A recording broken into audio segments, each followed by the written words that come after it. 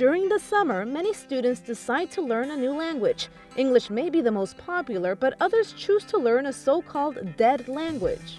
Reading text in Latin, Greek, and Hebrew is possible, but students go even further. They also learn to speak the languages as if they were modern ones. A total of 88 students from all over the world came to Rome precisely to take these language courses. It's unique because here, under one same roof, students are taught different levels of Latin, Ancient Greek, and Hebrew. And even though they're considered dead languages, here they make an effort to preserve them since they're the base of our civilization. The situation is the following one. We have like a whole library of Alexandria which is locked. We have lost the key of that library of Alexandria, and the key is knowledge of ancient languages.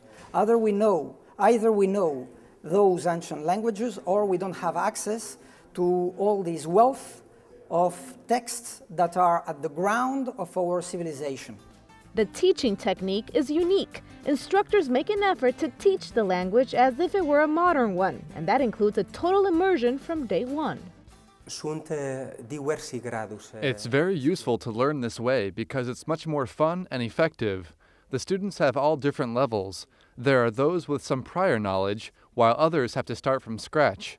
It's an approach to learning a language that is very playful. Even though it may be a dead language, we enjoy it in the classroom. One could argue learning these languages may not be very useful, but interestingly, this year the number of enrolled students doubled, and next year roughly 100 are expected.